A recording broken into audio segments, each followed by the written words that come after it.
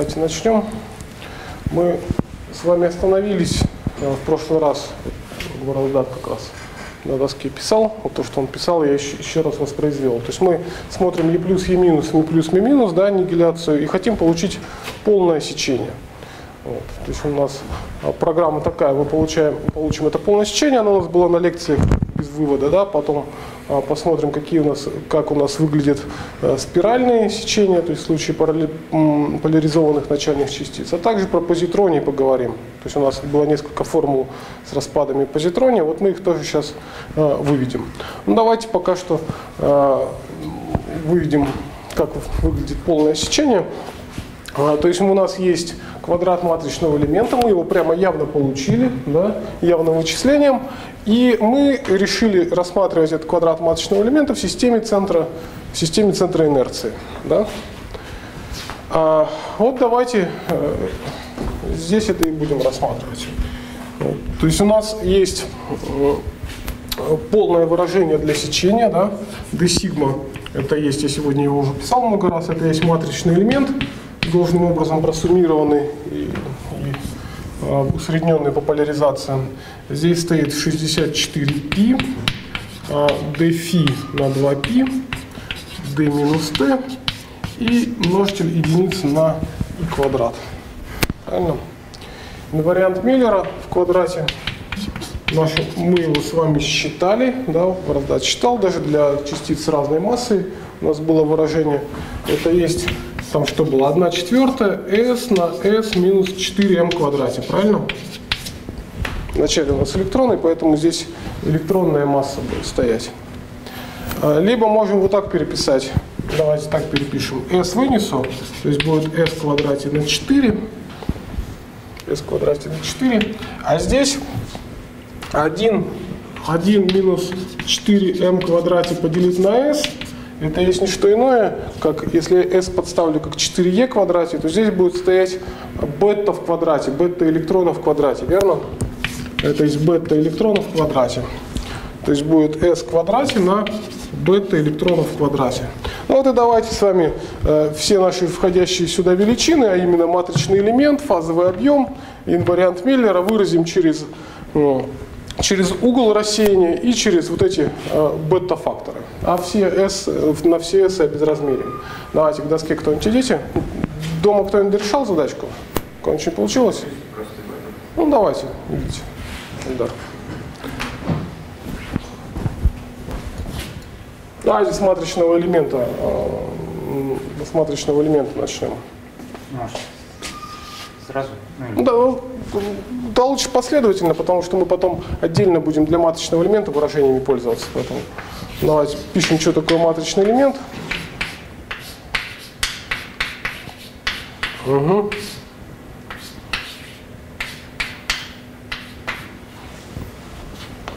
А дальше, э, знаете, пока, пока можете здесь, ну, можете написать 16 Е в, Е в 4, а можете просто S оставить. Мы на него сократим сейчас, да? Видите, здесь э, стоит S квадрат тоже, а здесь какие-то комбинации бет стоят, да? То есть видно, что э, матричный элемент, он для процесса 2 в 2 это безразмерная величина. Поэтому она будет зависеть только от бет, да, и от угла рассеяния. То есть никаких S, никаких энергий там не будет. То есть этот S мы сейчас сократим. А T минус U. Да. То есть что здесь будет такое, T минус U? Угу. до 16.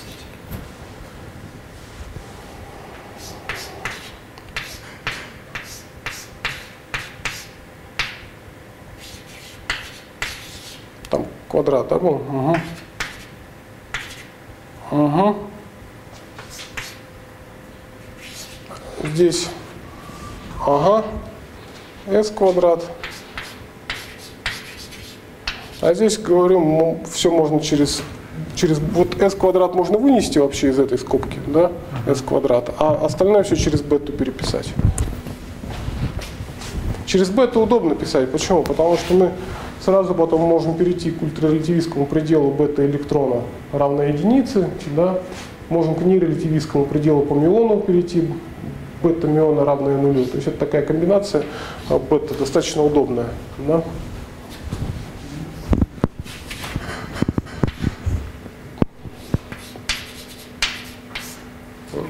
Угу.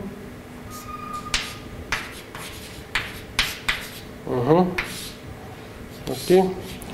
А P в квадрате это что такое? Это есть энергия в квадрате на бета электрона в квадрате. Это есть энергия в квадрате на бета миона в квадрате. Да? Энергия в квадрате, энергия в квадрате даст вам S в квадрате, правильно? Здесь тоже. То есть на S в квадрате можно сразу сократить. Да. Угу.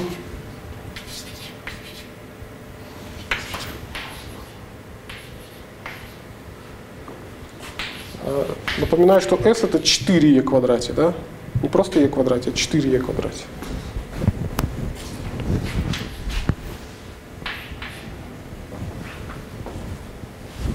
Удар 4. У вас э, здесь стоит же e в квадрате, правильно? Поэтому 16 ушло, да. Ага. Просто ушло, и все. Так, теперь здесь. А здесь ну, видно, что это, это минус бета электрона, это минус бета миона, но еще с какой-то там коэффициентом. Что здесь будет?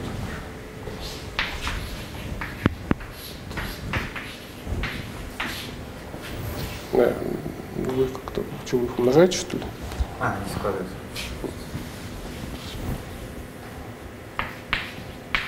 Минус бета миона, да. И, и что нужно прибавить еще? Где бета у нас вот такая. Чтобы единичку получить. В квадрате. В квадрате, да. Угу. Надо вот эти еще. А, ну еще минус э, один. Ну, у вас Три. плюс, почему минус? Плюс 3. Плюс 3. Минус. Плюс 3, да. Ага, да, вот так вот. Вот S сократился благополучно. Все, никакого S, S нет. Ага. Отлично, вот так- такое выражение. А, В ультралити... У нас э, по электронам у нас всегда ультрарелятивизм, правильно? Ультрарелятивизм. Поэтому можем написать сразу, что это примерно чему равно. Ультрарелятивизм по электронам, это значит, что бета-электроны единицу полагаем, да? Будет.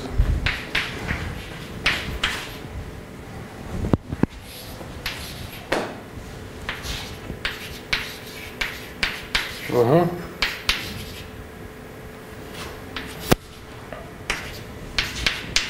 Плюс 2. Угу. Да, вот такое выражение.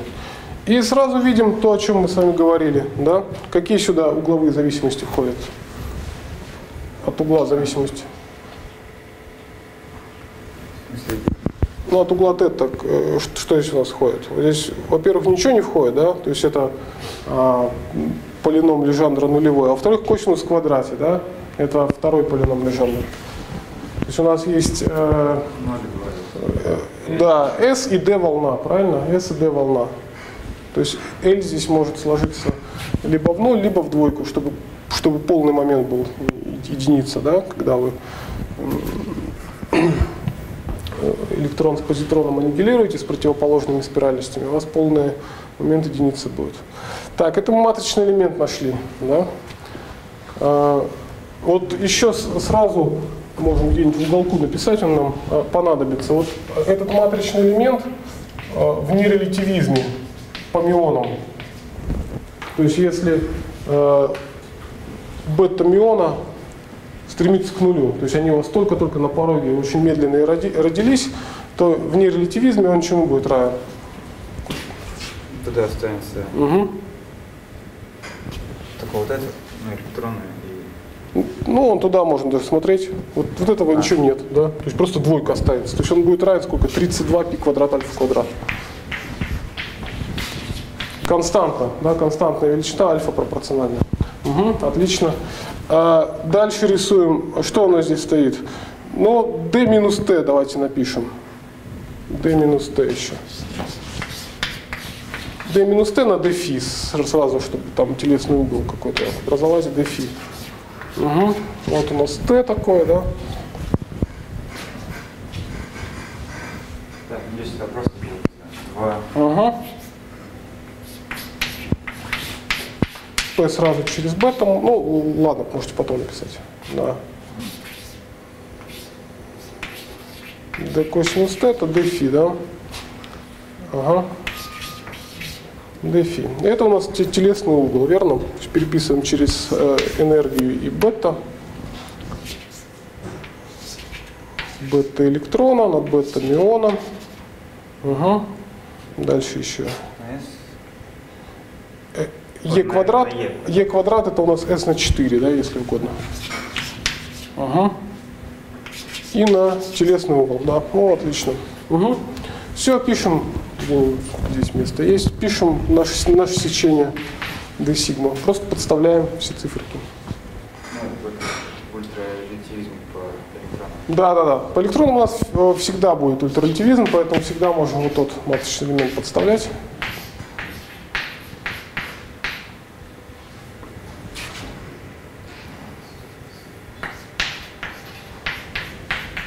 Угу. Да, сначала все напишем, а потом уже сокращать будем. Значит, 128 пи квадрат. Угу. Это пошел матричный элемент. Хорошо. Теперь dt, d, d минус t, d фи. Вот оно. То есть это что такое? s пополам, да? Двойка сократилась, то есть s пополам.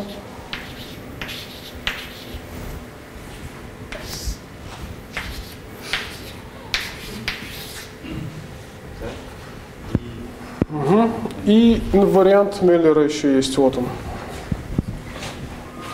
Вот пока один раз напишите, что здесь стоит, да, s квадрат, ага, бета электрона, да, отлично. Потом бета электроны единички положим.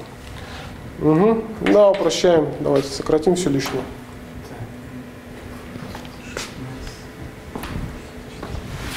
Бета электроны везде можно единицы положить, да?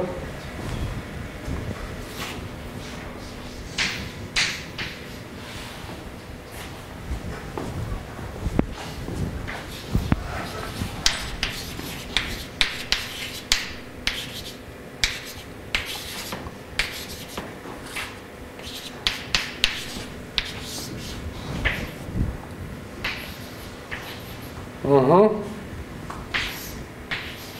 Да, одно S осталось, да? Одно S осталось, как и положено. На d омега. Угу. С коэффициентом все правильно, да? Угу. Хорошо. Ну, все интегрируем, находим пол, полное сечение.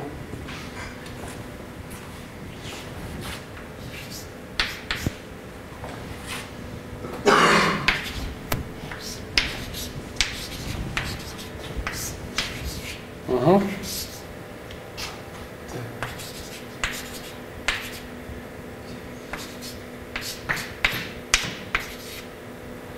Четыре. Это от косинуса в квадрате, да? Да. Две третьих или Мгм. два пи. Угу. Угу.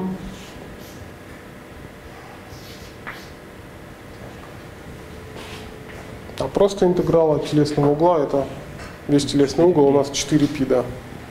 4π, ну, на, на вот, это, на вот это выражение.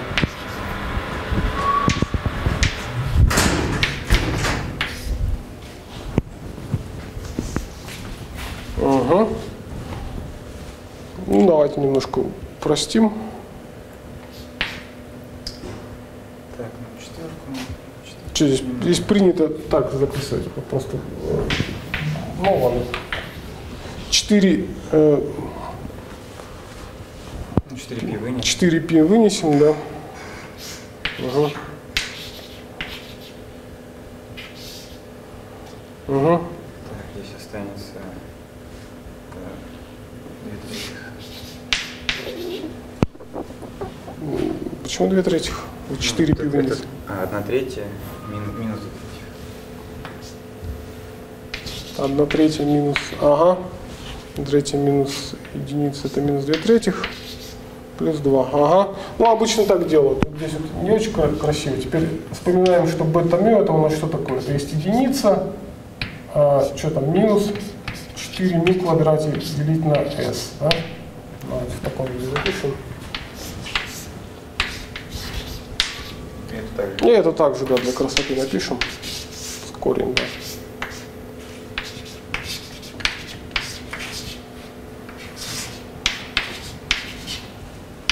Здесь от единички мин. Ага, ну, можете сразу, можете Ну, поставить. сразу Ну, напишите, что получится, сра- сразу скобки раскрыв. То есть минус 2 третьих плюс 2, это что такое? А, 4 третьих. 4 третьих. Ага.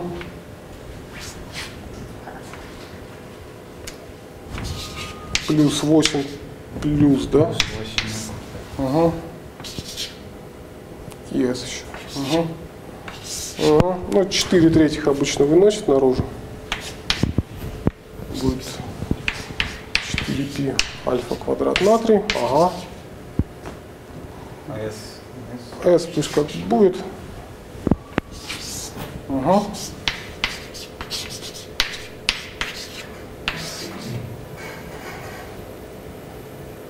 А здесь, здесь будет единица плюс 2 ми в квадрате на s, да? Ага. Да, вот такое сечение. И мы его писали на, э, на, на семинаре, выписывали его, да, как, как, как результат интегрирования. Вот такое, такое замечательное сечение получилось. Угу. А, отлично. Теперь давайте небольшую модификацию э- этой, этой задачи рассмотрим. Это мы нашли полное сечение Е плюс Е минус, Ми плюс Ми минус. Правильно? Теперь давайте попробуем а, посчитать. Здесь вопросы есть какие-то по этому сечению? Все понятно, да? Ну, здесь достаточно простая такая, простое вычисление. Теперь давайте а, попробуем обратную реакцию посчитать. У нас все для этого есть. Вот у нас есть ми плюс, ми минус. Ой. Ми плюс, ми минус аннигилирует в Е плюс, Е минус. И тоже давайте посчитаем, как выглядит, э, как выглядит сечение. Да. В чем отличие будет? Ну, вариант. М? Инвариант изменится, да? То есть теперь и будет другой, и квадрат будет другой. Ну, напишите его, и квадрат чего. Раньше и, квадрат содержал бета-электрона, и бета-электроны мы полагали равно единице, да? А теперь инвариант будет содержать бета-миона, и его уже единицы мы не можем полагать, правильно? Потому что оно может быть каким угодно. Уж какие они проаннигилируют, таким оно и будет. Ага. Матричный элемент как-нибудь изменится? Нет, потому что э, переход к обратной реакции э, не отвеча- не отвечает изменению каких-то инвариантов. Да? То есть S как было S, так и останется S. Вот. Ну, пишем сечение, которое у нас получится. Вот у нас, смотрите, как было раньше. Вот раньше здесь было бета-электрона в квадрате, и мы его заменяли на единицу, да? А теперь здесь будет бета-миона в квадрате. Ну. То есть одна бета-миона. Одна, да, да, да, бета-миона по- уйдет в знаменатель. То есть можем сразу написать, чему полное сечение равно. То есть если раньше у вас бета-миона возникала в числителе в первой степени, и это отвечало, отвечало пороговому поведению нерелятивистскому сечения да, при малых бета, у вас сечение определяется S-волной, тем, что у вас S-волна. То есть при малых бета оно себя должно вести как b, бета в степени бета-миона в степени 2L плюс 1. Да? Если у нас главное это S-волна, L равно нулю, то э, должно остаться бета. Да? Вот у нас здесь бета и возникала в сечении. То есть теперь мы уже это сказать не можем. У нас не релятивистский Да, просто корень знаменателя будет. корень. Ну, можете просто написать как бета-миона его в знаменателе. Просто чтобы подчеркнуть, что раньше он был э, бета в числителе, а сейчас в знаменателе. Ага, да. А остальное то же самое, да? 2 ми квадрат. Ага. О, отлично. То есть сразу получили сечение, ну напишите, что ми плюс, ми минус, и плюс, и минус. Да? Угу. Замечательно. Э, Давайте следующую задачку рассмотрим. Ну, а давайте, если вы не устали, то еще. Э, Следующая задачка будет такая, просто на основе того, что мы только что с вами нашли. А Давайте попробуем э, вычислить ширину распада ортомиония. Мы на лекциях про это говорили, сейчас на семинаре ее напишем, чему она равна. То есть следующая задача это, так, вот это, наверное, мне не надо, да, не надо. Следующая, вторая задача, это ширина распада, ширина распада, распада ортомиония. Ортомиония. То есть это состояние, где у вас а, момент единичка, в неоне плюс минус в s волне, а здесь стоит тройка, да? Тройка. То есть вот это надо найти. То есть у нас картинка какая? Вначале был э, мионий, вот в связанном состоянии, да? то есть вот это мионий. А в конце возможны разные конечные состояния. Но вот мы с вами э, возьмем туши, э, то конечное состояние, которое э, дает основной вклад в ширину. Это E плюс E минус. То есть ортомионий распадается в E плюс E минус. E плюс E минус. И вот эту ширину с вами найдем сейчас. Да?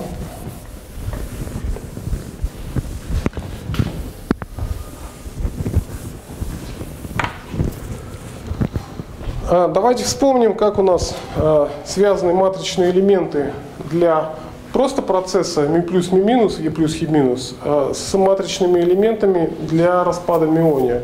В чем там отличие было? Качественное, в чем отличие? То есть какие множители появлялись?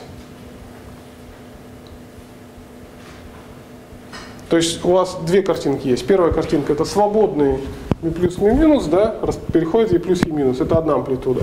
А вторая картинка это связанное состояние с какой-то волновой функцией, да, связанное состояние э, ми плюс ми минус. Да, то есть мы э, говорили, что, ну пишите, матричный элемент для э, перехода миония в какое-то конечное состояние. Мионий, ну, мионий, в конечное состояние. Э, это есть матричный элемент, э, это есть матричный элемент для ми плюс, ми минус в то же конечное состояние. Да? Там было, как правильно Евгений сказал, пси в нуле, то есть волновая функция в координатном представлении, даже без модуля пока, просто пси в нуле. И что еще? А?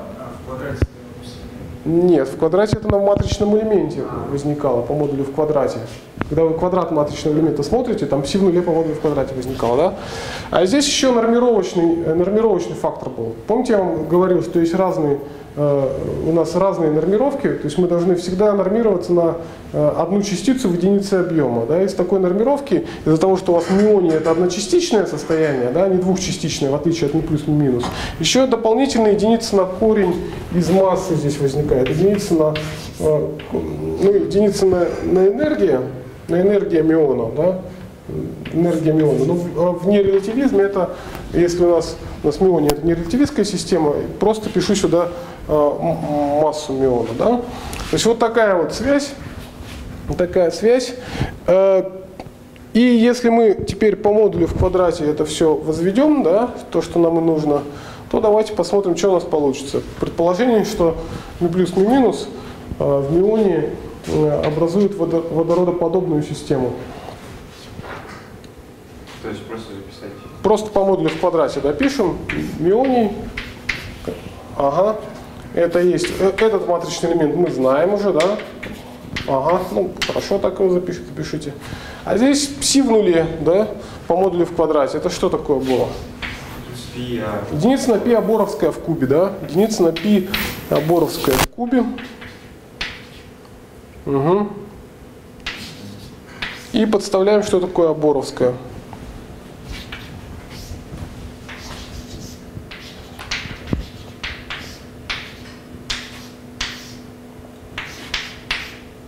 Так, это альфа на... Что? Это раньше это было единица на М альфа, правильно? Оборовская единица на М альфа. Ну а теперь вместо m. А теперь вместо э, m у нас при, там приведенная масса, да, поэтому это что будет? 2, 2 делить на m. Э, угу. 2 делить на мю альфа знаменатель. 8. Угу. Угу. Одна мю сократилась, осталось мю квадрат альфа в кубе. Да, да вот такая вот такая вот штука получилась. Правильно? Э, отлично. Ну давайте писать выражение для ширины. Значит, выражение для ширины. Это все, наверное, можно стереть, да? Угу.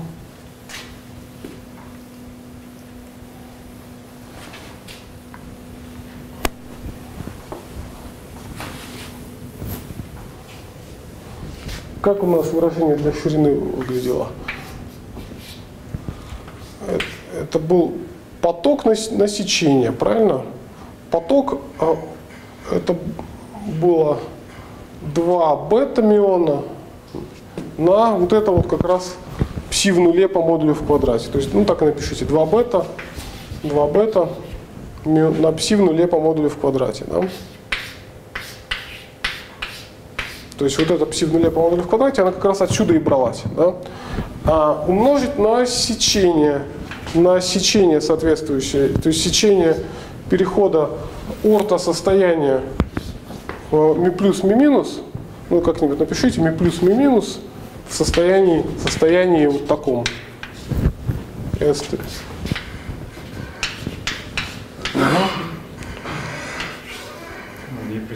Е плюс, Е минус, да, мы смотрим. Е плюс, Е минус. Угу. Отлично.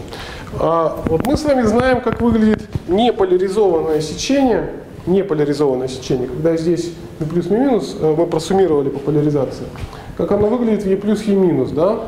А, давайте его нерелятивистский предел возьмем. Сигма нерелятивистская. То есть когда э, мионы у меня почти неподвижны. То есть там, где можно, переходим к пределу бета-мю к нулю. Да? А инвариант S тогда чему равен? Четырем массам в квадрате, да, 4m в квадрате. 4 массы миллионов в квадрате, да.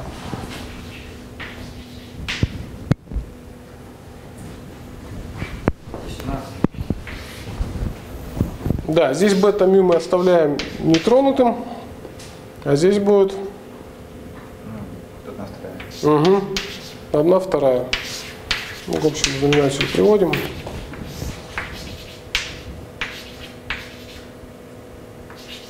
Угу. Двойка еще знаменатель, да, есть? Да. Вот такой, не, такой нерелятивистский предел. Мы его, кстати, сегодня на, на, на лекции вспоминали, да, этот предел. А, обратите внимание, что у нас а, один и тот же предел нерелятивистский для Е плюс Е для ми плюс ми минус в Е плюс Е минус и для того процесса, про который мы на лекциях говорили. Там что было? Э, ми плюс ми минус в 2 гамма. Да? Э, нерелятивистское сечение одно и то же, одинаково выглядит. Ага. Но это не поляризованное сечение. То есть неполяризованное сечение, оно равно чему? Это есть три четверти сечение со спином единица, да?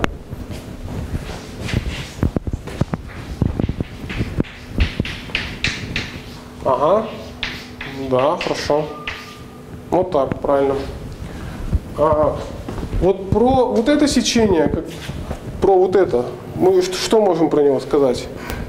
Когда у нас есть э, ортомионий, да,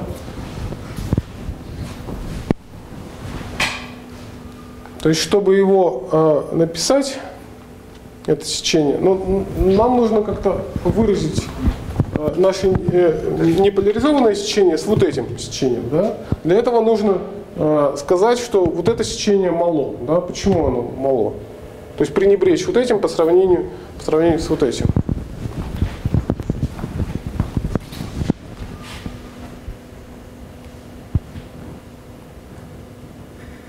Почему? Почему мало? А если мало, то как? Чем подавлено? Каким фактором? М?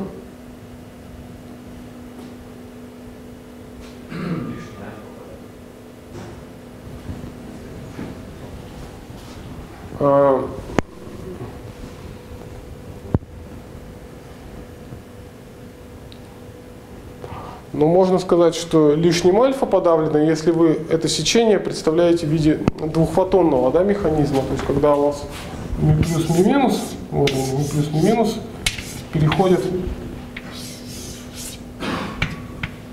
в плюс, ми минус а в состоянии э, с полным моментом 0 э, через два фотона. Да? В таком механизме у вас действительно подавление будет еще лишнее, лишней альфой. Да? А так, в принципе, вы и здесь можете, здесь могли бы э, получить э, э, проекцию момента равную нулю, да, проаннигилировав э, ваши электроны с одинаковыми спиральностями. Но вы знаете, что в ультрарелятивизме электроны аннигилируют с противоположными спиральностями, верно?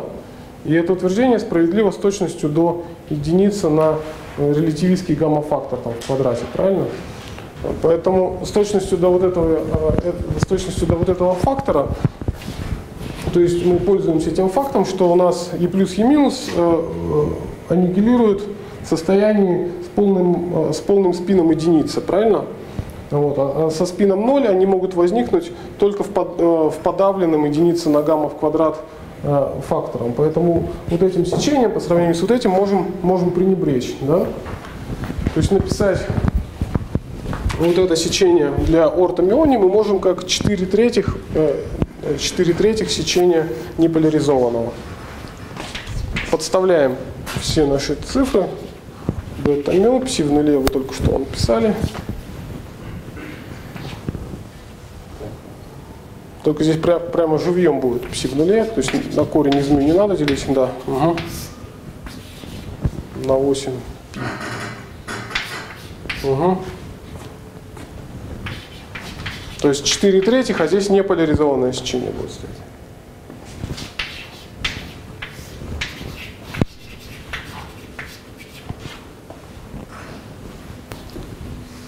Бетамиона в квадрате, да? По размерности у нас сечение единицы на бетамиона в квадрате, да? В квадрате.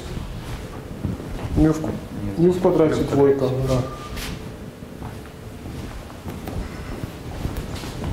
Бета в первой степени, но еще двойка, да? Двойку написали. Ага. Все, сокращаем, все, все лишнее. То есть это что такое мы считаем? Это ширина распада ортомиония в Е плюс Е минус пара. Ортомионий также может распасться на фотоны, правильно? Следующая э, возможная у него мода. Э, Но на фотоны это будет подавленное в альфа раз сечение, верно? Плюс там еще фактор случайного подавления, про который мы говорили. Пи квадрат минус 9. Да. То есть что я хочу сказать, что э, мода ми- миония распада в Е плюс Е минус, она является доминантной. Все другие э, моды, они как минимум в альфа раз подавлены. Насколько? Нет, что-то многовато. Откуда тройка? Это что такое? А. Вы же вот, вот это выражение берете.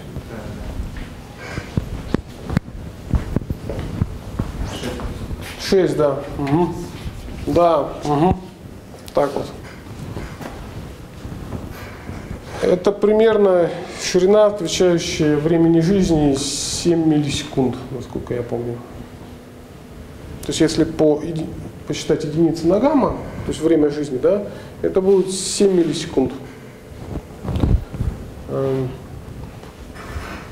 7 микросекунд, микросекунд, извините, не миллисекунд. Э, Отлично. Э, Теперь давайте вот что сделаем. Мы знаем, что, вот глядите, у нас есть мионий, да? Мы знаем, что для него вот, эта ширина, вот этот распад является главным. Давайте попробуем найти э, выражение для сечения сечение вот такого процесса. Вот у вас есть Е плюс, Е минус, да, э, коллайдер какой-то. Вы в этом коллайдере родили мионий, мионий, а он потом распался на какое-то конечное состояние f. То есть здесь вот в качестве резонанса э, возникает наш мионий. Да? Э, у нас было с вами на лекциях выражение для полного резонансного сечения такого процесса. Давайте его напишем. То есть какие здесь множители были? То есть главная особенность какая поведение? Если у вас есть резонанс, то есть э, что? Брейд Вигнер, совершенно верно, молодец. То есть будет Брейд Вигнер. Здесь возникала гамма резонанса в E плюс E минус, гамма резонанса в конечное состояние. Да? А здесь стояла Брейд-Вигнеровская э, Брейд кривая. Я так напишу. S минус масса резонанса в квадрате, в квадрате плюс масса резонанса в квадрате на полную ширину резонанса. А здесь было э, 4π 4π на спин резонанса плюс 1. То есть вот такое выражение. Да? Вот это Брейт-Вигнеровская кривая, которая определяет как раз главный, главный вклад от, от резонанса. Если я нахожусь э, по, инв, по энергетическому инварианту S близко к массе резонанса, то у меня эта величина достаточно большая. Да? Вот. А, окей, давайте теперь а, попробуем это, рассмотреть это выражение в предельном случае. А, вот в качестве конечного состояния для ортомиония, если R это у нас ортомионий, а, в качестве конечных состояний у нас могут быть много разных конечных состояний, но главным это, это будет E плюс E минус, правильно? То есть давайте а, в качестве F возьмем E плюс E минус. Плюс E минус. Да? То есть конечное состояние пусть у нас будет E плюс E минус. Тогда э, как выглядит, будет выглядеть это сечение? Давайте еще раз перепишем для мионии.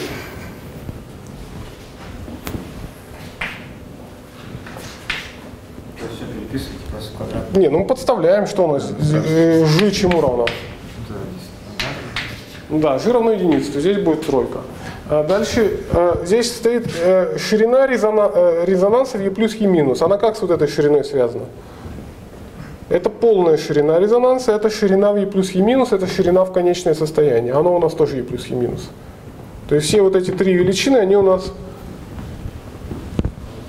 примерно одинаковые. Да? То есть мы говорили, что полная ширина, она в основном насыщается E плюс E минусом. Да? Ну так и пишем, то есть гамма резонанса в квадрате гамма резонанса в квадрате. Ага. Так. Угу.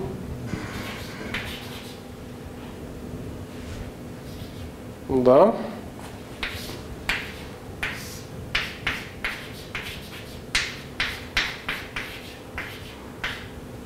Здесь, э, ну хорошо, вы его подставили. Но на самом деле у нас масса резонанса это есть а если уж чуть более точно быть, это есть вот это 2 мю, да, который вы написали, плюс еще энергия связи, да, плюс энергия, энергия связи в мионе. Поэтому мы можем пока просто как массу резонанса оставить, ну или так пусть будет, как, как вы написали. Масса резонанса в квадрате. Ага, окей, будьте здоровы. А здесь то же самое, да, масса резонанса в квадрате. Окей.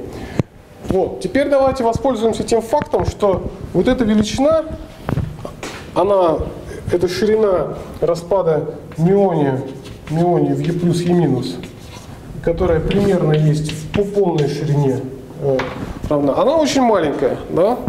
Если она очень маленькая, то мы можем взять э, предел. У нас есть такой предел. В каких-нибудь матанализах, наверное, проходили, что предел эпсилон в квадрате плюс x в квадрате, это еще такое? Женя, чем вот предел равен? А? На π умноженное, да, молодец. То есть это будет π дельта от x. Да? Ну вот давайте к этому пределу и перейдем. В качестве эпсилон у вас у нас здесь четверки нет. Здесь четверки тоже нет. Если массу резонанса пишем. В качестве эпсилон у нас выступает масса резонанса на гамма резонанса. То есть одну гамма резонанса нужно наружу вытащить. Да? 12π. Так, ну почему мы массу просто М? Здесь надо помножить на массу и поделить. Да, да, да, совершенно верно. То есть поделили на массу. Ну и теперь Но вот в этом пределе у нас э, в числителе не эпсилон квадрат, а эпсилон да, состоит. Поэтому одна гамма, э, одна гамма должна остаться, да.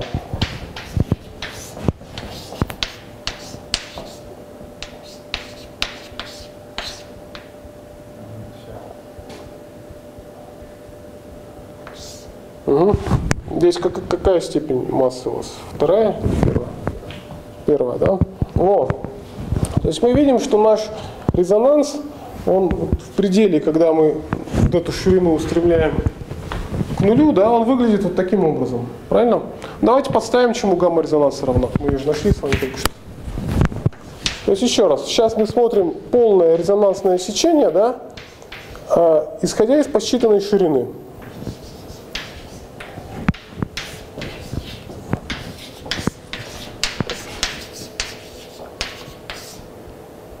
Угу. Ну, сократите там все, что можно. Масса резонанса это примерно две массы, да, миона.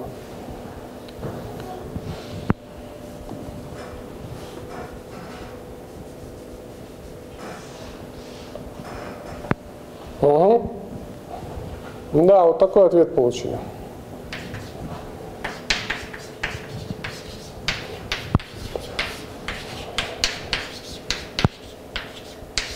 Угу. Отлично. А теперь а, мы могли бы этот ответ с- получить другим путем. Тот же самый ответ можем получить, а, получить другим путем. Вот а, давайте где-нибудь освобожу место, вот здесь, вот,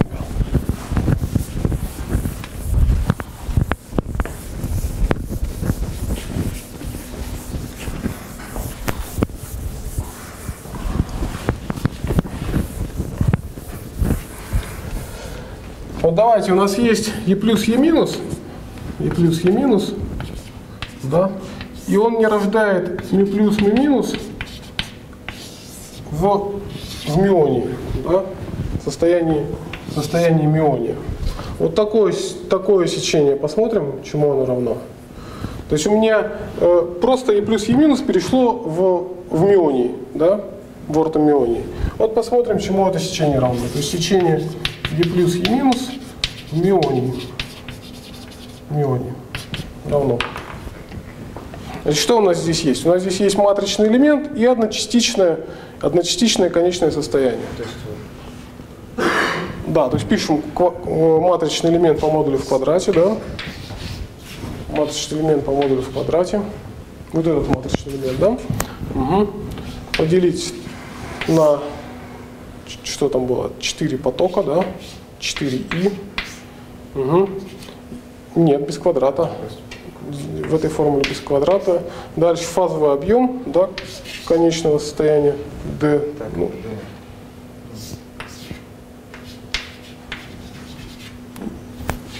Угу, ну вы его пишите весь. D3, да, на 2 пи в кубе. Угу. Да, правильно. Ми- Миона, да? Угу. И на 2 пи в четвертой д- дельта функция.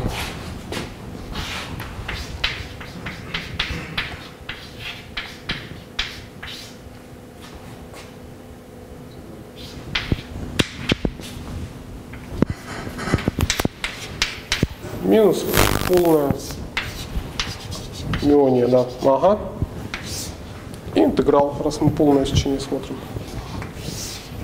Отлично. Давайте его посчитаем, чему это равно.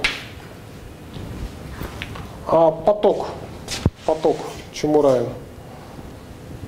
Так, ну это будет 4. S на 4. То есть мы се- сегодня его вписали, то есть там было как? Поток в квадрате у нас вот в первой сам на 4. S. Бета электрон. в квадрате на 4, бета электронов в квадрате. Вот так вот, правильно?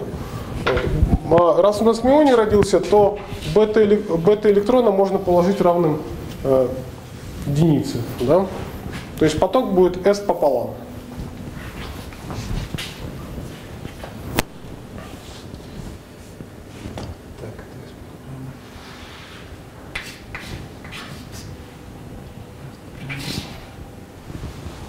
Это вы что пишете сейчас? Ну, Просто подставляйте все, э, вс- все выражения, а потом будем уже все сокращать. чтобы- Я, конечно, верю, когда вы пишете, но так проверить удо- удобнее будет. Матричный элемент. Значит, у нас мионий родился не релятивистский, правильно? Не релятивистский. То есть вот такой у него матричный элемент. 32, что там, пи в квадрате еще, да? Пи в квадрате на альфа квадрате. Мгм. Здесь стоит 4 потока. Поток это S пополам.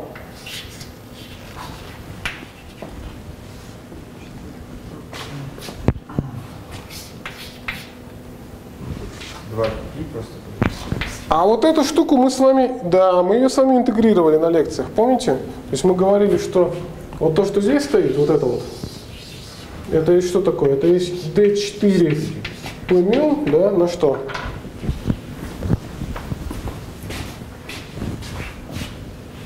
Ну, тут надо просто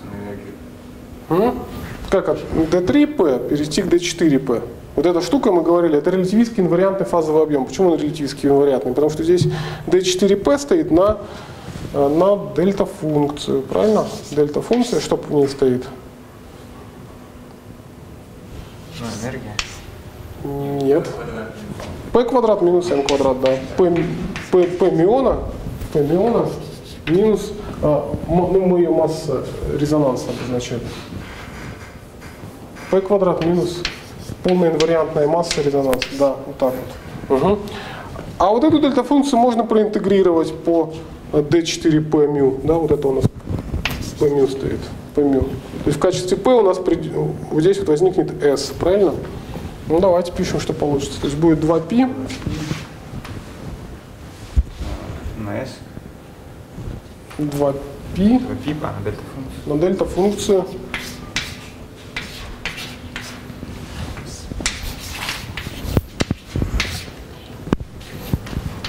А p, а, p квадрат это что такое у нас в наших обозначениях?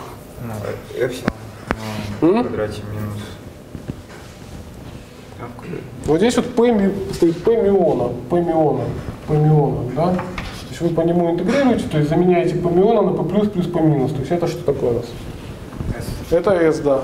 S минус масса резонанса в квадрате.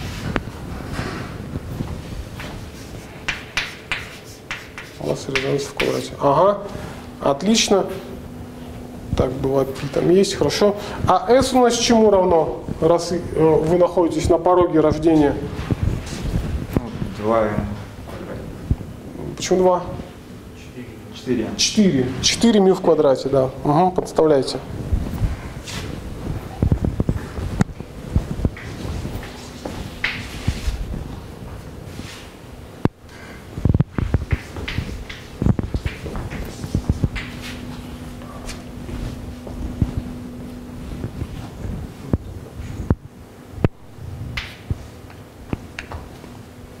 М, Еще, еще что мы забыли? Вот когда, смотрите внимательно, когда мы матричный элемент писали, мы написали 32 пи, пи квадрат альфа квадрат, да, правильно? А у нас еще что есть с вами в матричном элементе? Вот отсюда пошло 32 пи квадрат альфа в квадрате. А еще есть пси в нуле и мю, да? Да, давайте не забудем на него умножить. Вот вы здесь это уже сделали как раз. То есть 8, а только 8, по-моему, там в знаменателе было, нет? 8 пи там было, да? 8 пи. В квадрате. А здесь мю в квадрате и альфа в кубе, да? Поскольку один, один сократился, мю. Во. То есть вот, вот этот, вот этот фактор не забываем, да, от взаимодействия. Ну, смотрим, чему. Так, вот здесь вот стоит все-таки S пока, давайте напишем, он у нас. Здесь э, нет, нет, а здесь, здесь мю. Здесь мы подставили, чему он приблизительно равен.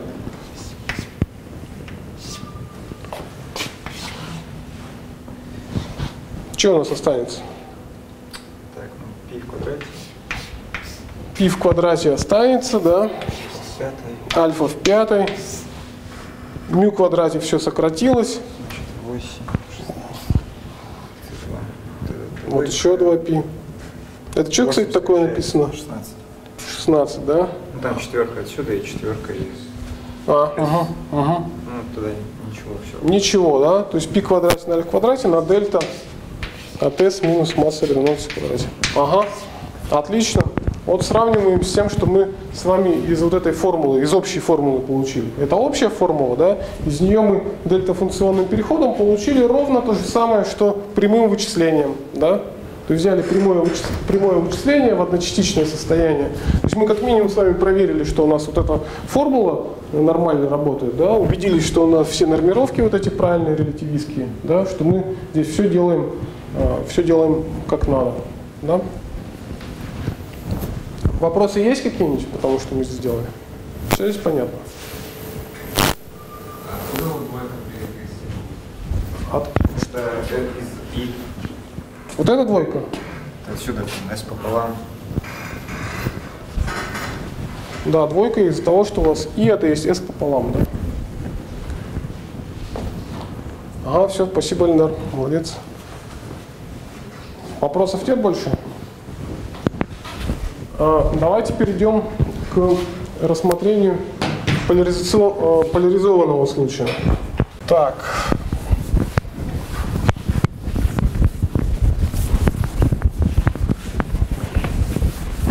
Эльдар, без 10 час напомните, что без 10 час. Третья задача. А, Снова рассматриваем E плюс E минус рассеяние. E плюс E минус, точнее вентиляция E плюс E минус, E плюс E минус. Здесь у вас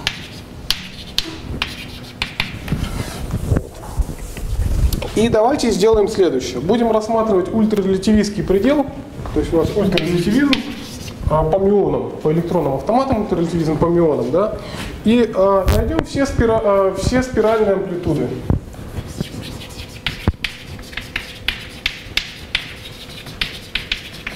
Амплитуды.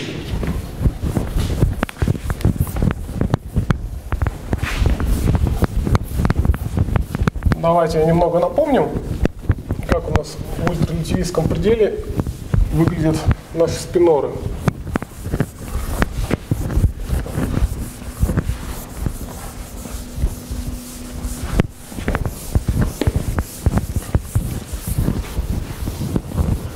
То есть полная амплитуда нашего процесса, да?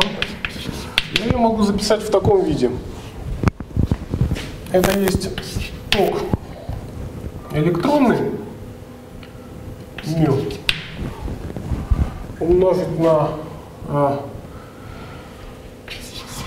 g меню и g меню на в квадрате q в квадрате на g мионный ой как нехорошо а, давайте так вот я сделаю альфа бета альфа бета альфа бета это у меня ток электронный, это ток мионный, здесь альфа, здесь бета, здесь комплексно сопряженная величина. То есть мою амплитуду я запишу вот в таком виде. Мы ее уже писали, я ее просто переписываю немножко по-другому, да? где э, электронный ток, G электронная альфа, это есть что такое? Это есть э, V с чертой, V с чертой от P плюс от гамма альфа у от P минус. Да? А мионный ток, он у меня здесь комплексно сопряженный, поэтому я его пишу точно в таком же виде, как здесь. Мионный ток, это есть э, V с чертой от P плюс штрих, гамма бета у от P минус штрих. Так бы я, когда записывал по правилам Феймана, у меня было бы U с чертой от P минус штрих, гамма бета, V от P плюс штрих. Да? Я пишу здесь комплексно, комплексно сопряженную величину. Такую. А, ну, соответственно, вот это от пропагатора, да? От, от, вот этого, от э, фотонного пропагатора.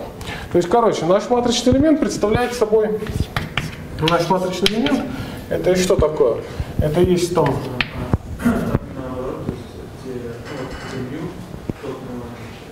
где... Что сделать? А, не, не, не, имеется в виду, где мелкий ток там Почему? Вот я здесь пишу вот этот ток комплексно сопряженный, да? Этот ток комплексно сопряженный, это что такое будет? Это будет у с чертой по минус штрих, гамма бета, вот если я этот ток мионный комплексно сопряженный напишу, это будет у с чертой от p штрих, та же самая гамма бета в от p плюс штрих, правильно? То есть это ровно то, что у меня стоит в правилах Феймана, когда я должен записать правую вершину.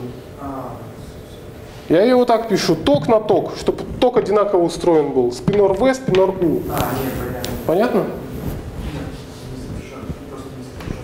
Угу.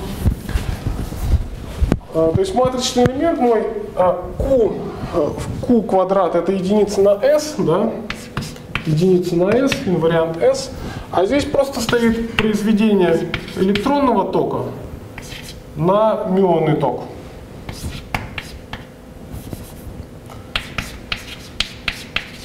А, тоже альфа, да? Комплексно сопряженный. Ток на ток, да, произведение одного тока на другой ток.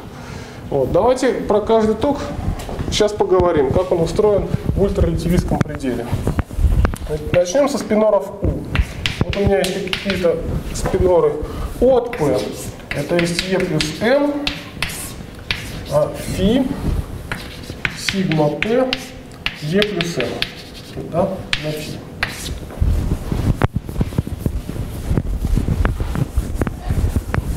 То есть вот у меня летит электрон, вот у него куда-то торчит спин, да, это его импульс P, это электрон да. То есть в ультрарелятивистском пределе, когда энергия у меня очень большая, я массы все выкидываю, да, то есть у меня здесь будет корень из энергии, ультрарелятивизм, а здесь будет стоять фи, а здесь так напишу сигма m умножить на фи.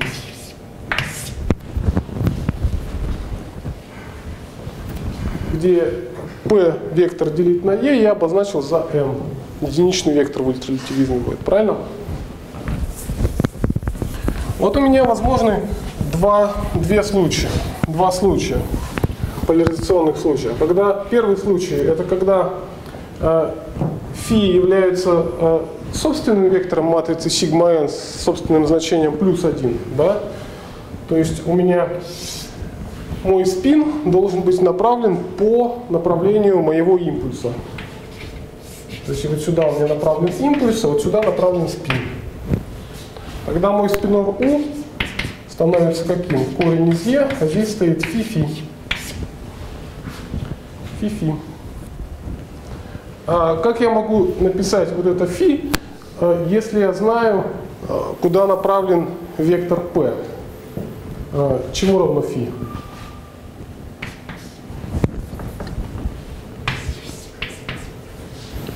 Вот у меня есть направление n, да, и э, спин направлен по этому направлению. Как мне написать э, спинор? Как он выглядит? Из квантовой механики вы это должны знать. То есть сигма n это... Э, ага. Ага, давайте в раздат напишите.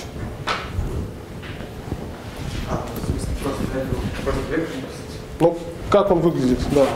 Вот то, что вы сказали. Косинус это пополам. Косинус это пополам.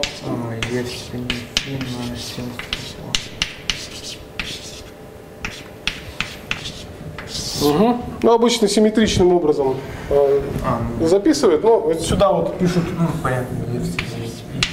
Нет, здесь с минусом как раз пишут, а здесь, а здесь с плюсом, да. И фи пополам, да. Угу.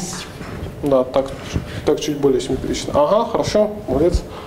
А, пока сядьте сейчас, я сформулирую э, задачу, потом выйдете. Вот. А, и что мы видим? Что вот этот У, я его так обозначу, правый, правый, эта штука является, это, это 4 спинора, является собственным спинором вот такого проектора, правого проектора. 1 плюс гамма-5 пополам. Правый проектор, если я явно пишу, чему равна матрица гамма-5, это есть единичная матрица, единичная, единичная, единичная и одна вторая. Правильно? То есть у меня мой спинор, правый спинор это его собственный вектор. Аналогично, если, если у меня э, ситуация такая, что спин электрона направлен против его импульса, где вот это импульс, то мой спинор, я его буду называть левым спинором, это есть корень, корень из Е, да, здесь будет стоять фи, а здесь минус фи. Правильно? Поскольку сигма n равно минус фи. Сигма n равно минус фи. Вот. И эта штука является собственным вектором левого спирального проектора. Где левый спиральный проектор это есть 1 минус гамма 5 пополам. То есть это есть 1 вторая, 1 минус 1 минус 1, 1. Вот так вот. Такая история. Это электроны. Теперь, если у меня есть позитроны. Позитроны у меня описываются в правилах Феймана с помощью отрицательно-частотных решений. Да?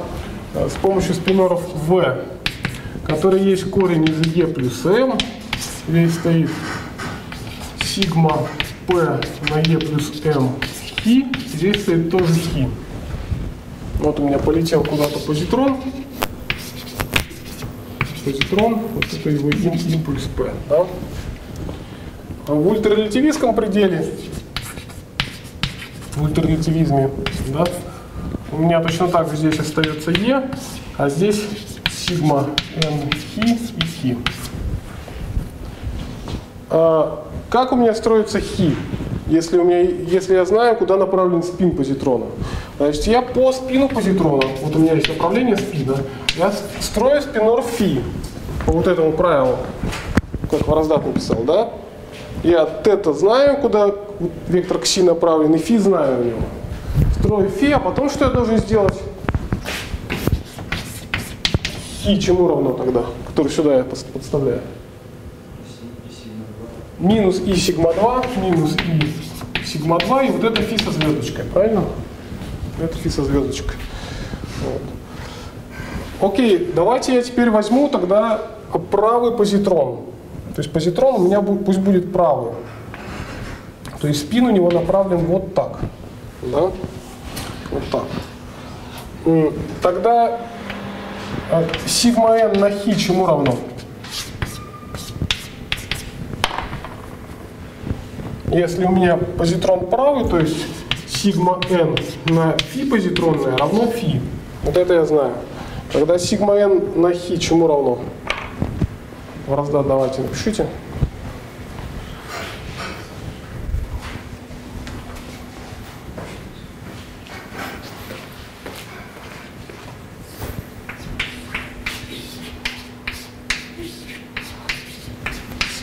Не-не-не, сигма 2 нельзя так просто пихать вот сюда. А, да. Она не коммутирует, да? Да, напишите нормально, чтобы видно было всё.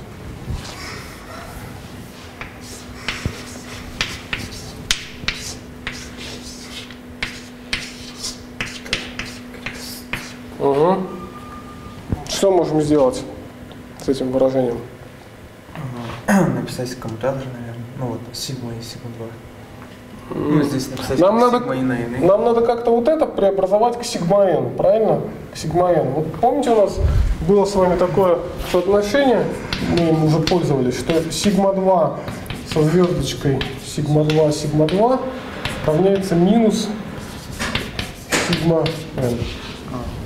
Это э, свойство сигма-матриц, да, одно из свойств сигма-матриц такое. Вот этим свойством давайте воспользуемся.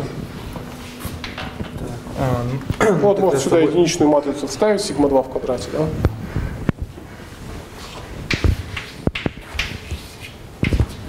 Ага.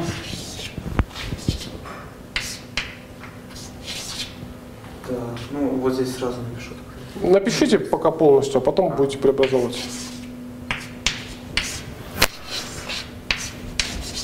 Ага. Пока нету здесь никакого сопряжения. Ага. Да. Отлично. Вот это чему равно?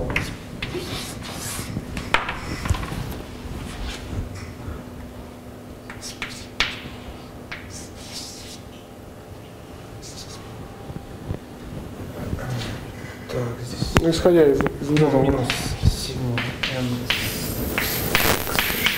Да. То есть минус сигма n сопряженная на фи сопряженная. Да. А что такое сигма n на фи, мы знаем. Сигма n на фи равно фи, да? Угу. Возвращаемся к хи снова. Хи это что такое? Нет, это равно. Это равно.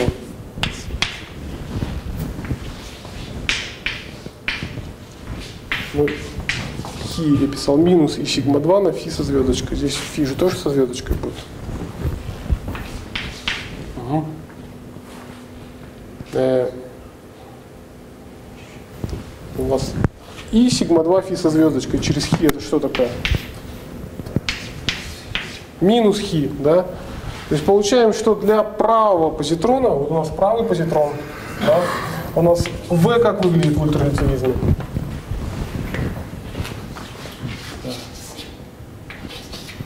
Корень из энергии. А здесь минус хи будет, правильно? Сигма, мы только что получили, что сигма n от хи. Ага. О, отлично. То есть мы получаем, что правый позитрон, правый позитрон, он является собственным, фу- э, собственной функцией какого проектора? Левого проектора, да? Если я на левый проектор умножу, то получу его же. А если на правый проектор умножу, получу 0.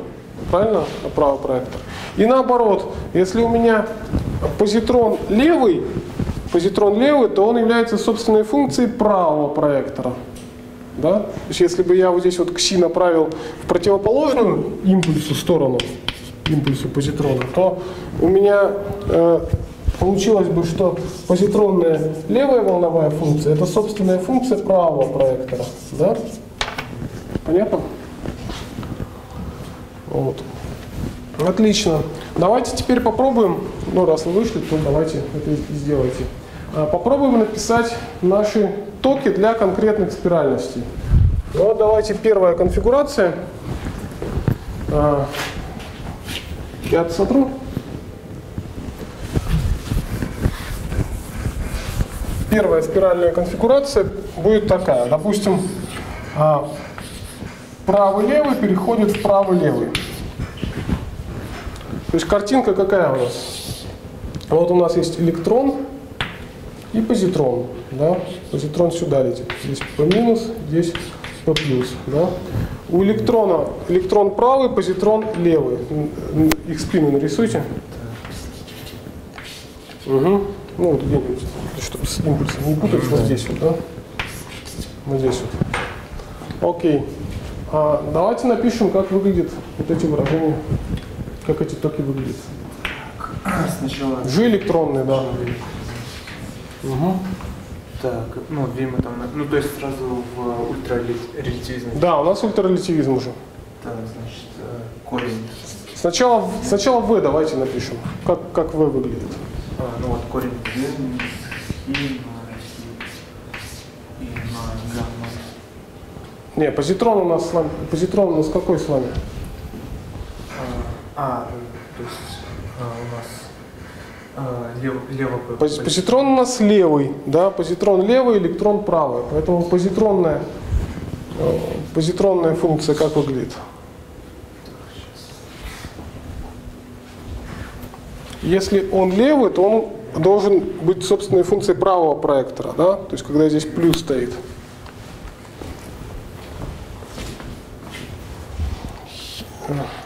Хи, но здесь стоит не В, а В с чертой. Вы отдельно, гамма. ну, Там крест еще есть. Угу, да. Окей. Так, правильно. А, не имеется в виду, а как мы его так написали? Мы же вот, а, мы же э, в, вывели, то есть у нас получилось минус. Ну, Мы вывели минус для правых, для правого позитрона, когда у него спин направлен по А, импульсу. да. А у нас здесь ситуация, когда он левый, правильно? Когда он левый. Угу.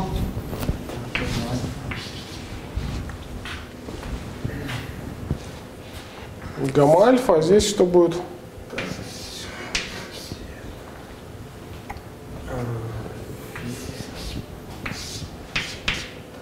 Зачем здесь крест?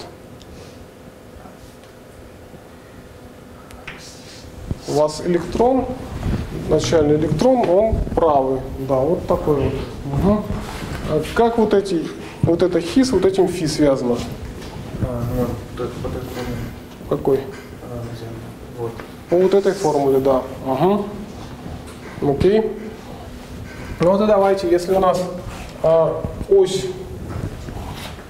э, допустим, у нас есть вот эта ось направления импульса, да, которая характеризуется какими-то а, каким-то углом углом тета, да, углом тета. То есть наш фи, наш фи это есть косинус тета пополам и синус тета пополам. Да? А, вот наш импульс, вот этот первоначальный, да, мы считаем его, что он расположен под углом тета к оси z. Да. Вот этот импульс, да. Тогда хи у нас чему равно, который мы сюда пишем? Напишите его. Минус и сигма 2 на фи со звездочкой. Это что такое будет?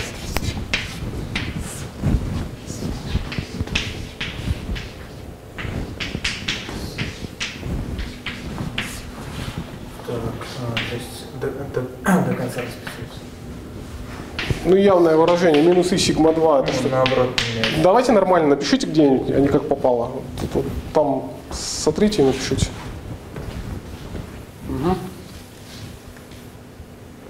То есть хи будет чему равно? Минус и сигма 2 это что, что за матрица? Ну, сигма 2 это 1-1 Нет. в, в не диагональ. Ну, не диагональная. Не-не-не, это сигма 1 вы пишете. А, все, все, 0 Ну, 0 минус и и 0, да. На минус и умножаем, значит, что получится? На минус и умножьте и пишите матрицу, которая получится. так, сейчас. То есть, м, Вот эту матрицу напишите. Минус и сигма 2. Как она явно выглядит? 0 минус 1. Отлично. Ага.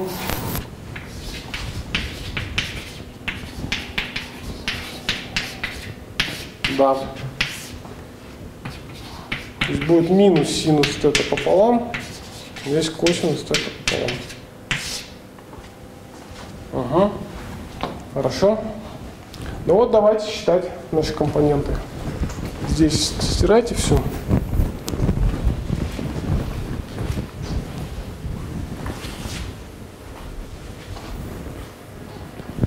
Это мы пока написали только начальный ток, вот этот право-левый, да? Право-левый.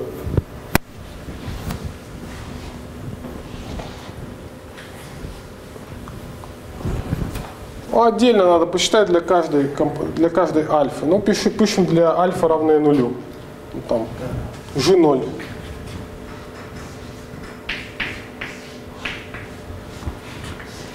Корень из двух е выносим. Это будет Е. Угу.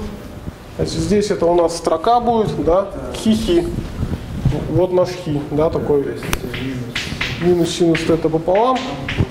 Косинус тета пополам. Чуть менее размашисто пишите, чтобы в доску влезть хотя бы.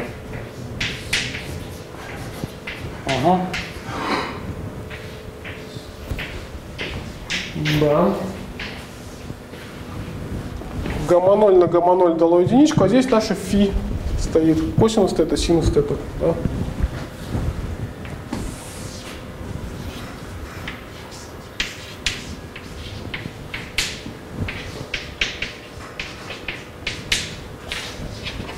Угу. Кто посчитает G, поднимите руку, я посмотрю, чтобы самостоятельно расстраиваться. А то есть бамбук сидите, курите, я смотрю уже.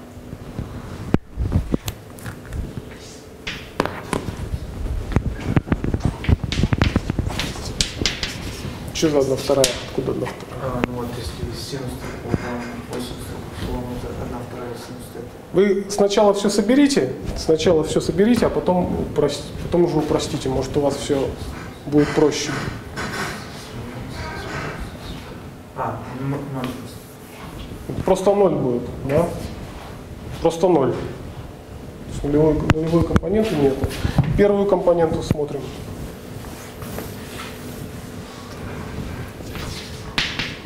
Чуть менее размашисто пишите, чтобы у вас э, сигма матрицы сюда влезли. Ага. G1, да? Ну, та- Также Е выносится. Е выносится. Здесь, ну, здесь все то же самое, только вот здесь ну, Да, здесь будет... ну, Ну вот, можете по центру доски писать, потому что там будет некая, некая матрица, да, у вас? Минус. Ага, хорошо.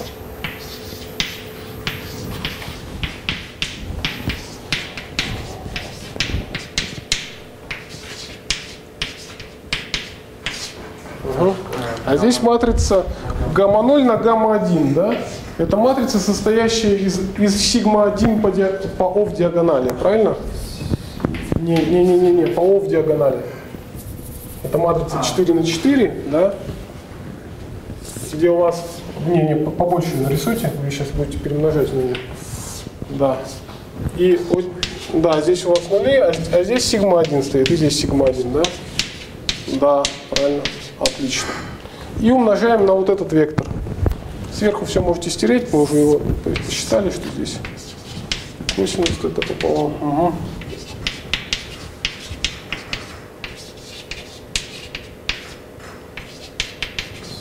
Ага. Это можно уже стереть сюда. Сверху все можно стереть. Ага. Значит, что мы здесь получаем? Значит, первую единичку мы должны умножить на, на то, что это. на синус, да, то есть будет минус синус, ну как есть, так и пишите. Минус синус в квадрате тета пополам, да. Дальше А, это, Это вот на это умножить. Это синус. Ну, одна э, плюс одна вторая. откуда одна вторая? Ну, если полную возьмем. А? Не надо полный, я еще раз говорю. Сначала все упрощаете, потом уже, э, сначала все собираете, потом упрощаете. Ну, косинус квадрат. Косинус в квадрате тета пополам. С каким знаком? Плюсом, Плюсом. да? Угу, дальше. Здесь минус, а здесь плюс а, минус синус в квадрате. Угу. И плюс косинус в И квадрате. плюс снова косинус в квадрате. То есть просто удвоится все выражение. Да. Да, правильно. А теперь уже можете упрощать. Что это такое? Лазер на косинус. На косинус двойного угла, да, тета. На косинус тета. Угу. Отлично, молодец. Следующий смотрим. Альфа равное 2. Правильно считаем?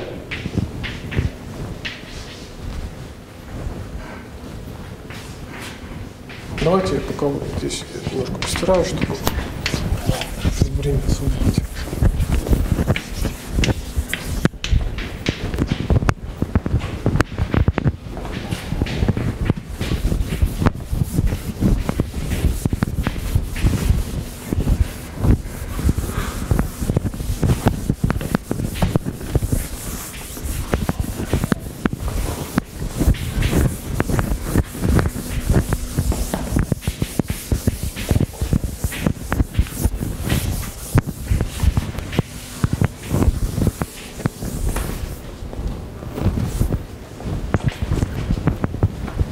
Угу.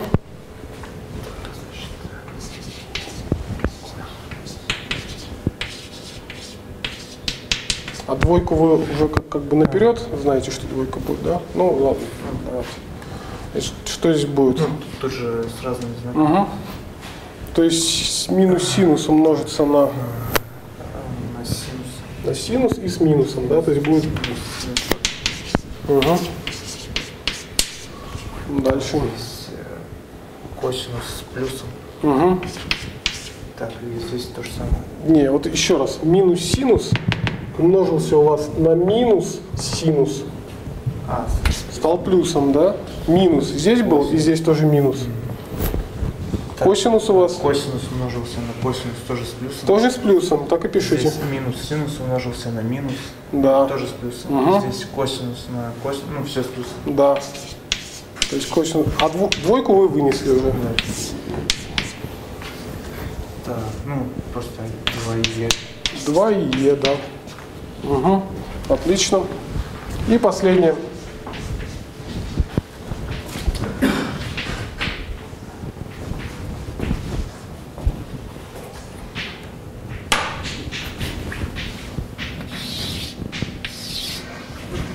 Есть у нас с вами такая конфигурация, да? Это электрон, это позитрон. Летит. Это электрон. Позитрон. Конечное состояние, да?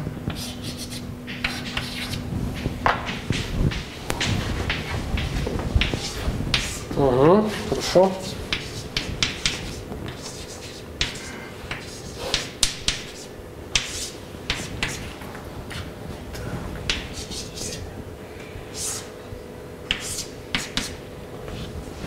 Так, минус синус э, умножился на косинус. Угу. Так, минус синус. Ну, вот это, по-моему, можно Да. сэкономить. Потом э, косинус плюсом умножился на минус и умножился на синус. Угу. Ну, то есть здесь удвоенное. Угу.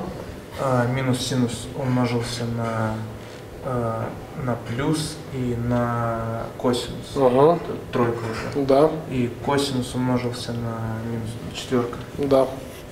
Минус 4. Ну, простите. Ну, Здесь будет синус тета. Напишите Минус 2 это. синус тета. Угу. Минус 2. Минус 2 е. Минус, дв- минус 2е, да? Минус синус тета. Угу.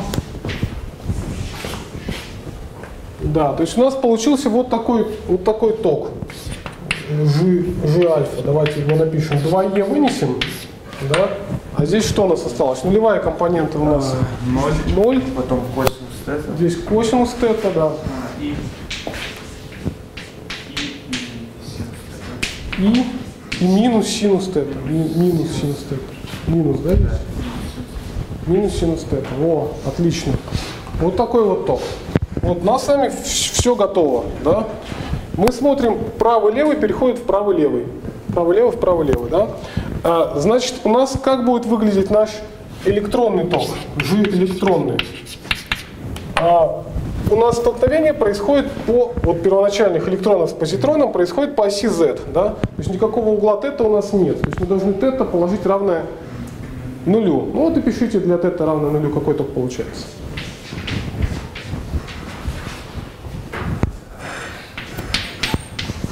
И 0. Отлично. А дальше наш мионный ток. Мионный ток. Он у нас отвечает направлению импульса под углом тета. Да? То есть именно то, что мы с вами считали. Правильно? Значит, как он будет выглядеть? Ну, вот так и будет. А, ну перепишите. 2Е перепишите. Здесь тоже, кстати, 2Е было. В смысле, просто переписать. Просто переписываем, да. Угу.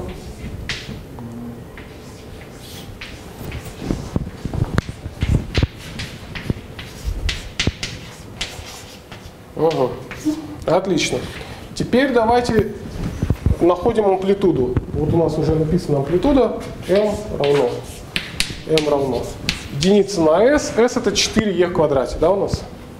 4e в квадрате. 4e в квадрате. Дальше вот здесь вот будьте осторожны. Почему? Потому что вы должны комплексно сопрячь вот этот вектор, да, нижний вектор, И на минус. И на минус и. И еще учесть ковариантность, то, что у вас пространственная часть со знаком минус будет входить. Вот эти вот. Эти со знаком минус будут входить, да. И, Ну, пере- и перемножить, найти скалярное произведение. То есть это что такое будет? 4 е в квадрате. 4e в квадрате отсюда будет, да? Так,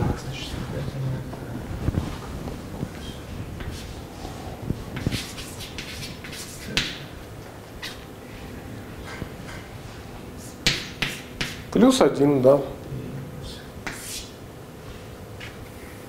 Да, все. Что это такое будет? Кстати, я когда так писал, я еще, и вы, конечно, меня извините, но здесь э, в маточном элементе есть еще константа связи, да? Е квадрат еще Е квадрат. Вот сюда вот Е квадрат. Запишите Е квадрат. Константу связи забыли написать. Ага. На Е квадрат. Отлично, правильно. Это амплитуда правый-левый, правый-левый, вправо-левый, да? Правый-левый, вправо-левый. Вот. А если бы я брал амплитуду, скажем, правый-правый, вправо-левый, чему она была бы равна? М? Нулю. Почему? Чему это отвечает? М? Почему минус косинус? Значит, еще раз смотрите внимательно. Я должен здесь сопрячь вектор и, и учесть ковариантность. Но вот это скалярное произведение, оно с учетом э, нашей метрики Минковского, да? То есть я сопрягаю, э, сопрягаю, здесь знак минус появляется, и учитываю ковариантность. Еще один минус будет, да? То есть здесь вот и-то останется на месте, то есть и даст минус единицу, правильно заметили? Вот глядите еще раз внимательно. А, умножаю вот я вот этот вектор сначала сопрягаю, потом, то есть здесь минус появляется, а потом еще раз минус, да. Вот так. То есть общий минус выносим, будет плюс, да. Да, вот сюда. Ага. Да, спасибо, Жень. Угу, правильно. А правый, правый, правый, левый чему равно? М? Нулю, да? Это сразу из проекторов было видно. Почему? Потому что вот если я беру ток, и они у меня оба правые, да, оба правые. Вот поскольку у меня мой позитрон правый, то есть он является собственной функцией э, левого проектора, правильно? Левого проектора. То есть P левое на V равно V. Да? Дел, отсюда я получаю, что V с чертой это есть э, P правое на V. Да? То есть V с чертой является собственным вектором правого проектора. Если V является собственным вектором левого проектора, то V с чертой собственный вектор правого проектора. Значит, здесь у меня что будет стоять? Здесь у меня получается такая комбинация V, гамма-альфа, U. Да? Они оба правые. Значит, я могу сюда поставить правый проектор и сюда поставить правый проектор. То есть будет V с чертой, правый проектор, гамма-альфа, правый проектор, U. Да? Правый проектор это 1 плюс гамма-5 пополам. Если я теперь 1 плюс гамма-5 пополам антикоммутирую через гамма-альфа, да, он переходит в 1 минус гамма-5. И получается, что э, у меня здесь возникает произведение левого проектора на правый проектор, а это 0, правильно? То есть это равно нулю. Пишем, равно нулю. Равно нулю. Угу. Какие у нас еще амплитуды есть? Есть еще левое, правое, правое, левое. Правильно? Вот, так, вот такая амплитуда. Такая амплитуда. Чему она равна? Как сразу сообразить?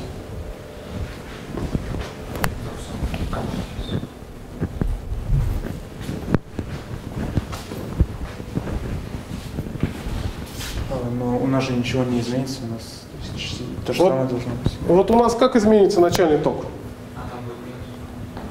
Если здесь у вас, смотрите, возникал фотон правополяризованный, когда у вас право-левое здесь было, да? Право-левое, вот этот фотон, он был вот такой, это правополяризованный фотон. То когда у вас здесь будет лево-право, у вас фотон будет левополяризованный, правильно? И соответствующий ток будет здесь э, со знаком минус, да? А это то же самое все. Это то же самое. Значит, матричный элемент тогда чему будет равен? Здесь будет э, знак. Здесь знак другой, да, напишите.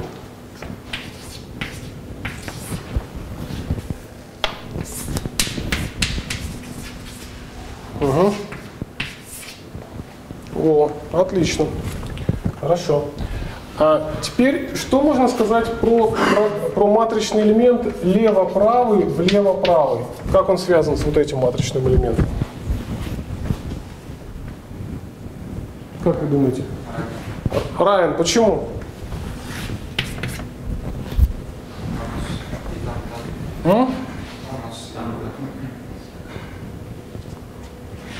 Э, но, а из общих соображений, без, без конкретного вида, это следствие чего? Что вы все спиральности можете начальных частиц и конечных поменять. Это, это что такое? Это какое свойство инвариантности теории? Т-инвариантность. Начальные с конечными не меняются еще в Т-инвариантности. А здесь просто спиральности меняются. П-инвариантность, да, то есть из П-инвариантности у вас а, ну, с, точностью, возможно, до некого, некого знака, да, у вас э, есть равенство этой амплитуды и этой амплитуды, да, все спиральности поменяли. Соответственно, вот здесь вот то же самое. Вы, это есть э, с точностью до знака э, вот такая амплитуда, правильно? Такая. Отлично. Значит, мы нашли все спиральные амплитуды. Ну, давайте из них найдем полное сечение. На этом, э, на этом закончим. Полное неполяризованное сечение. Неполяризованное сечение. То есть матричный элемент по модулю в квадрате усредненный. Как будет выглядеть? По модулю в квадрате усред... да, и усредненный. То есть по всем возможным конфигурациям мы усредняем. Да? То есть у нас есть четыре возможные конфигурации начальные. То есть одна четвертая будет, да? И должны просуммировать все квад... модули квадратов. По модулю в квадрате. Не-не-не. Вот вы суммируете, вы же квадраты суммируете. Да, вот эти квадраты вы их суммируете.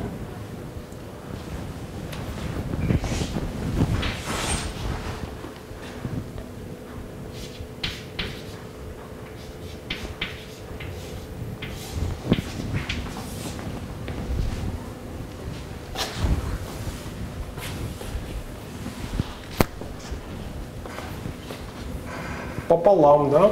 У нас одна четвертая из четырех возможных конфигураций, но из них две одинаковые. Вот эти две одинаковые и вот эти две одинаковые. Значит, одна вторая будет перед всем. Да, вот так вот. Угу. Подставляем. Е квадрат это 4π альфа. 4π альфа, все в квадрате. Угу. А здесь подставляем. Возводим в квадрат просто и все.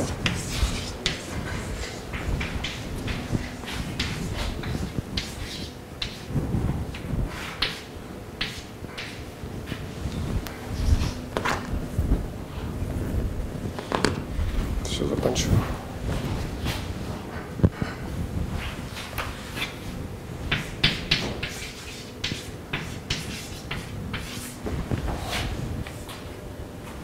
Угу. Да, вот такое выражение. Такое выражение получили. И это в точности то же самое ультрарелятивистское выражение, которое вот э, э, Эльдар в начале семинара получил. Правильно? Смотрите на него еще раз внимательно. То есть там просуммированный матричный элемент в квадрате а, был через а, бета-фактор миона чему был равен? Напомните?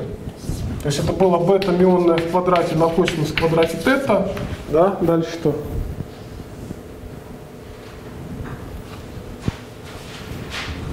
там было что-то типа бета-мионное в квадрате плюс 2, правильно?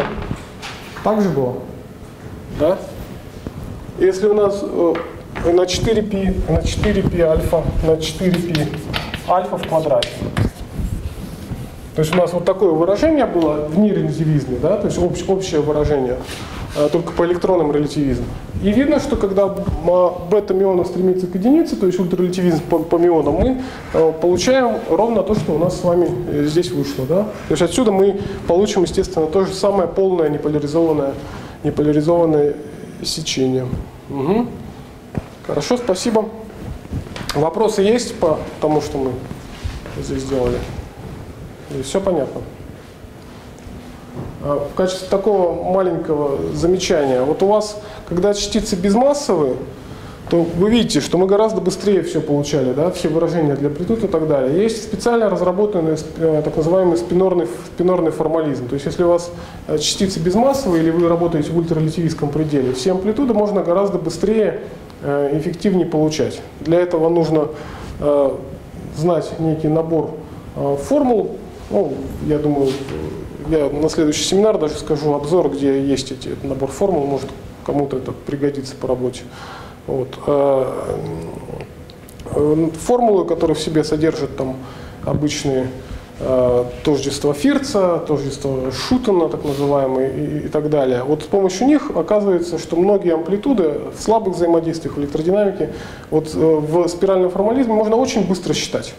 Можно фотонные векторы поляризации представлять в виде э, произведения двух спиноров там, э, каких-то спиральных. Да, и э, в этом формализме многие сечения гораздо быстрее считаются, чем вот просто в лоб, когда мы берем и в нерелятивизме их считаем. Ладно, на этом сегодня закончим.